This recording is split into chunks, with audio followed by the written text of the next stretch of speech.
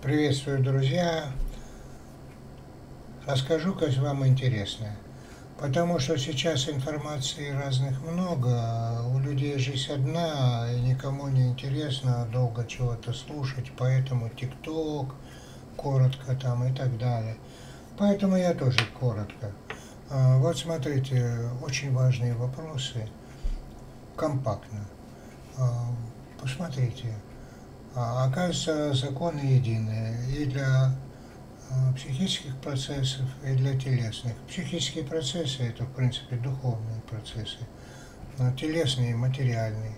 И вот когда они не согласованы, когда, например, сознание с подсознанием не согласованы, и человек ищет какой-то ответ на какой-то вопрос, он делает пики напряжения. Он ищет, он ищет с этой стороны, с этой стороны.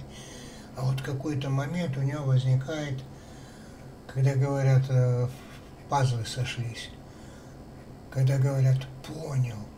И в этот момент, оказывается, происходит вот этот момент, вот этот вот квантовый, так называемый, на самом деле, триггерный переход на другой режим э, энергозатратный, менее затратный, на другой энергетический режим работы мозга. Поэтому, когда человек что-то понял, у него ощущение такое, ну, сброс напряжения произошел. Это даже как вот кайф такой, или там что-то там, ну такое ощущение озарения, когда происходит, э, сопровождается такое эмоция удовлетворения, какой-то радости. Э, ну, понял. Вот, вот это момент согласования несогласованных ранее э, процессов. Потому что там в этой психической реальности оказывается, имеет значение отношение к чему-то, к факту, а не сам факт. А, и поэтому там у нас возникают моменты, а, я вам сейчас объясню, почему некоторые эмоции называются негативными. Потому что когда они очень энергозатратные, это больно. Да.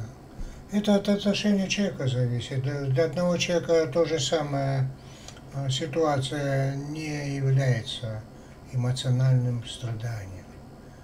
А, даже, может быть, радость вызывает. А мало ли чего бывает в жизни.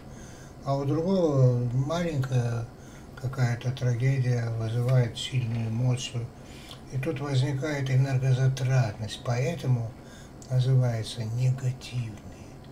А вот когда ты согласовалась у тебя, а, там происходит сброс напряжения и такое ощущение освобождения.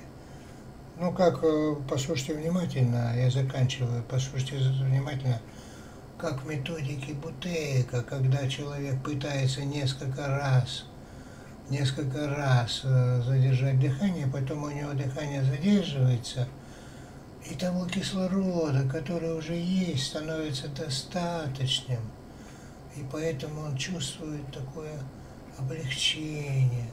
То есть потому что он перешел на другой энергозатратный режим. Я делаю науку энергоэкономика личности.